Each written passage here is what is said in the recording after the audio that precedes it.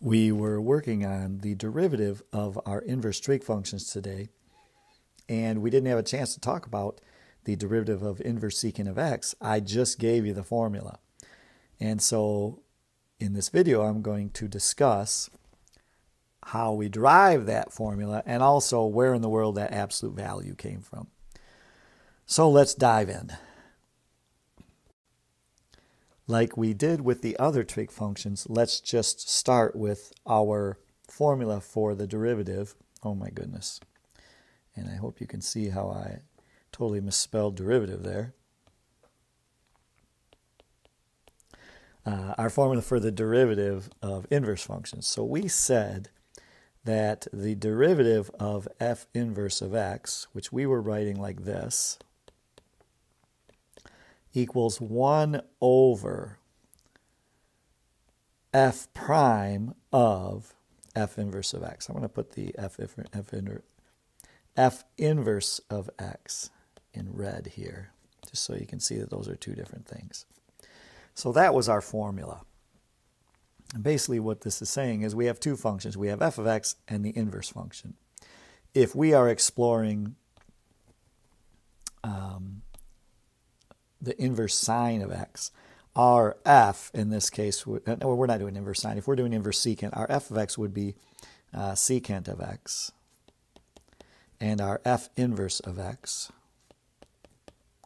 would be inverse secant of x. So th those two functions are playing the roles of f and f inverse. And I guess if I'm going to do my colors correctly here, I should make this blue.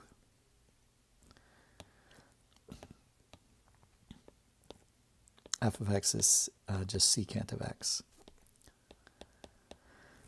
And then the derivative of f of x, just remember that the derivative of f of x, f prime of x, which is what we need in our formula right here on the denominator, is secant of x tangent of x. Let's remember that because that's going to come into play.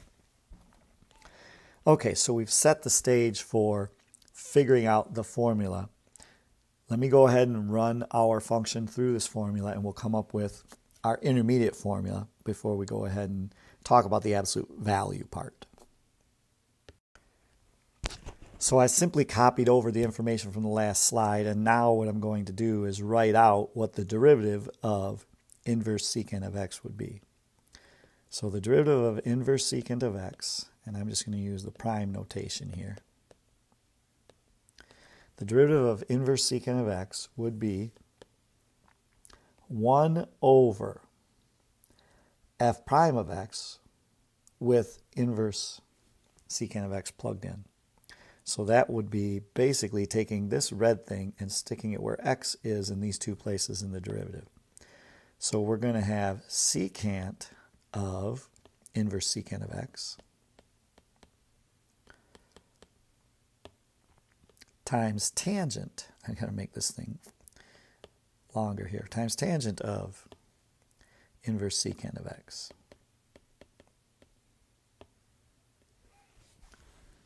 Okay, and I'm going to move that 1 over just because to me it doesn't look symmetric. So this is our initial formula for the derivative of inverse secant of x. As you know, we clean these things up by simplifying these two, this expression here on the bottom. And really what it means is I have to simplify these two expressions. And this is where it gets interesting. So I'll set up the basic um, structure that we use, our triangle, for this situation. And then what we're going to do is we're going to talk about this whole uh, idea of this, um, the need for this absolute value. So remember, inverse secant of x is just some angle, and we've been calling that theta. So essentially what we do is we do a change of variables, and we say that the inverse secant of x is now called theta, and then we start by drawing a triangle. Now, this triangle model has some limitations. Uh, since, since we're drawing it in a right angle, we're really only um, representing theta as somewhere between 0 and 90. Right? We can't have two 90 degree angles, so that's, um, that's what this model will serve us for. And just keep in mind that we're going to have to deal with the fact that uh, our angle, you know, could be some number bigger than 90. And we'll deal with that in a minute. And when I say 90, I mean pi over 2. Okay, here's the strategy that we use to set these problems up. So we said this was theta. And then since theta equals um, the, the inverse secant, what we did is we wrote down the hypotenuse as x and the adjacent as 1. That way, the secant of theta is x over 1. Then we use the Pythagorean theorem to solve for this missing leg here. And that will be the square root of x squared minus 1. And from here, what we did is we said, okay, I need to know what the secant of theta is. That would be the answer to this part of our product. And I need to know what the tangent of theta is, and that would be the answer to this part of the product. And so if we're not careful, we can write down an answer for this thing, right? Uh, this derivative would become 1 over the secant of theta is just uh, hypotenuse over adjacent, which is x over 1. So that first piece would just be x. And then the tangent of theta is opposite over adjacent, right? So this is opposite, this is adjacent, this is hypotenuse. The secant was hypotenuse over adjacent, x over 1, so I just wrote x there. And then the tangent, which is the second part of our denominator, would be opposite over adjacent, the square root of x squared minus 1 over 1. And like I said, if we're not careful, we could say that this is the formula for our derivative. But that's not always the case. So let me get into why we need to put the absolute value in there. It has to do with the domain and range for the inverse secant function and the tangent function. Okay, so I'm going to start a new slide. I'm just going to have a discussion with you about um, specifically the tangent of inverse secant of x. So what I want to do is give you a little background into the tangent and the inverse secant functions. First, let's talk about this inverse secant function. I hope that when you first learned about this, you learned that the angles that are produced from this function are all in the top half of the unit circle. So they start at zero and they go all the way to pi.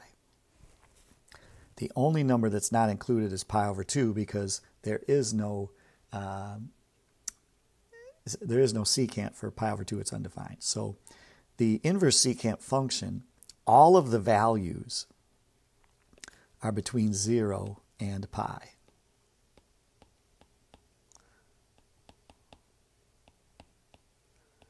In other words, all of our angle thetas are between 0 and pi. And what's happening is this inverse secant function is popping out some angle and then it's being plugged into our tangent function. Now, since we know the tangent function is receiving one of these angles, and we know the tangent is um, sine over cosine, what you need to know is that tangent is positive in the first quadrant, but it's negative in the second quadrant. And what we didn't account for when we drew our triangle and wrote out our square root of x squared minus 1 is when this thing's negative. So what we really need to discuss is the fact that there are two formulas that we need to follow for tangent of theta, for tangent of inverse secant of x. It's like a piecewise defined function. We're going to use regular old square root of x squared minus 1 when we're in the first quadrant. In other words, when theta is less than or equal to, uh, or 0 is less than or equal to theta is less than or equal to pi over 2, when we're between 0 and pi over 2. But the tangent is obviously negative when we're in the second quadrant. So the output of that function has to be negative, and the only way that can happen is if we stick a negative sign in front of the square root of x squared minus 1 because the principal square root won't be negative. So this happens between pi over 2 uh, and pi. And actually, we're not going to have a value at pi over 2 because there's no, there's no inverse secant at pi over 2. So I'm just going to do this. Okay. Now that's a weird way to write this piecewise function because I don't mention x. If we look at the inverse secant function on a graph, basically it looks like this. I'm going to sketch that part. So just down here, if you were to graph this in Desmos or something, uh, what you would see is essentially a curve that starts here and goes this way with an asymptote. Uh, no, no, no. Let me, uh, the asymptote's at pi over 2. So there's, there's, an, there's a horizontal asymptote at pi over 2, and essentially what we have is we have this function starting here, and then we have the other one starting here and going this way. There are no x values for this function between negative 1 and 1 the inverse secant function can only receive numbers that are greater than or equal to 1 or less than or equal to negative 1. So if we convert these intervals here to x, what we essentially get is that we're going to use square root of x squared minus 1 whenever x is greater than or equal to 1, and negative x squared minus 1 whenever x is less than or equal to negative 1. And that's because when you graph the inverse tangent, or the, the tangent of inverse secant of x, uh, and I'll do that in, let's see, I need another color here. I'm going to do that in yellow. The graph goes like this. It starts here and it takes off, and it starts here and it takes off. But again, there are no values in here because x can't be between negative 1 and 1. Okay, so this is the key, that there are two situations. Case 1 is when we are greater than 1, when x is greater than or equal to 1, we're going to use the positive square root. In case 2, we're going to use the negative square root. So I'm going to go back to my derivative formula and I'm going to write it in that way, and then I'll show you where the absolute value comes from. Okay, so I've sort of broken this down into two cases. I'm just going to draw a little line right here for now. Uh, essentially, what we've done now is we've broken our derivative into two pieces. Uh, and by the way, this is a negative sign right here. Let me, uh, let me clean this up a little bit. Sorry about that. Ooh, goodness. I guess I'm just going to rewrite it. Uh, this is x times negative square root of x squared minus 1. Okay, so when x is greater than or equal to 1, we just have the derivative formula as 1 over x times x squared minus 1, the exact formula that we came up with when we drew the triangle. But now that we've investigated the inverse secant function and the tangent function, we have a second case, which is when x is less than or equal to negative 1. This is the formula. Now, our goal is to put this into one formula, to squish it together into one formula.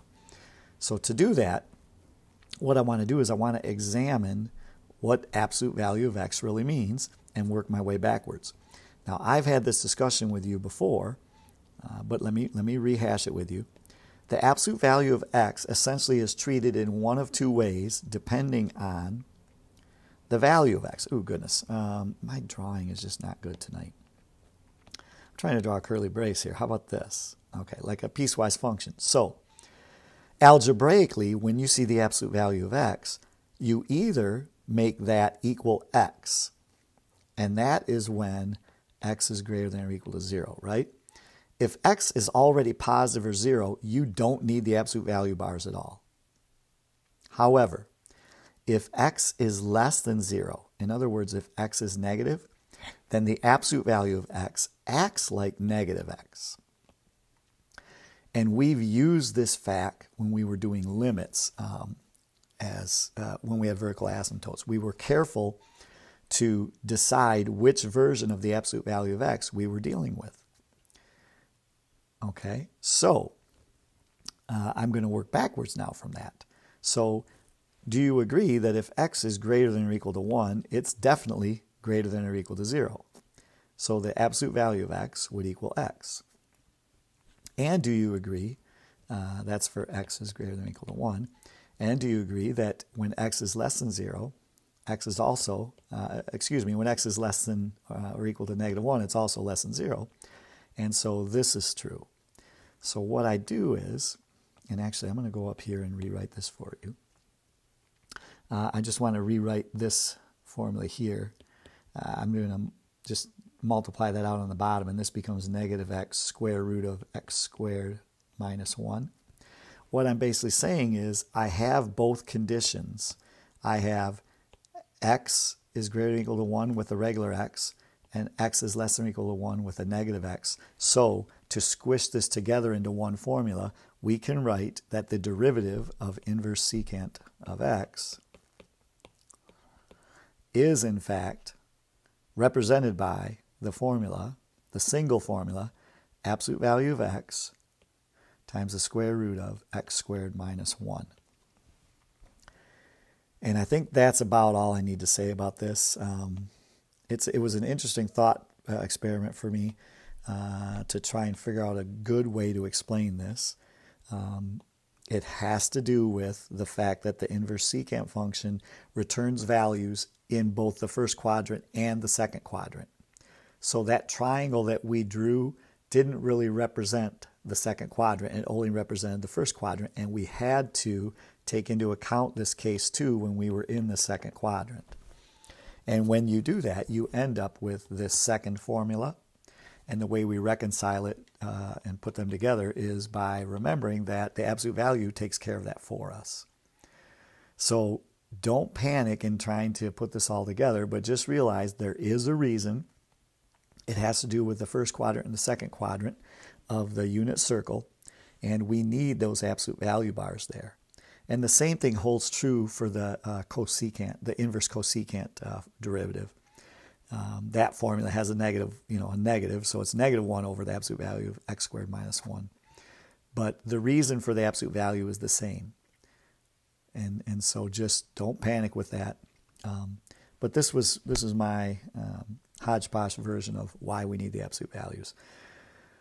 Okay, so you know where to find me if you have questions. This was just me getting my thoughts down uh, for you to watch. And then, of course, if it generates questions, that's even better. Uh, in the meantime, take care.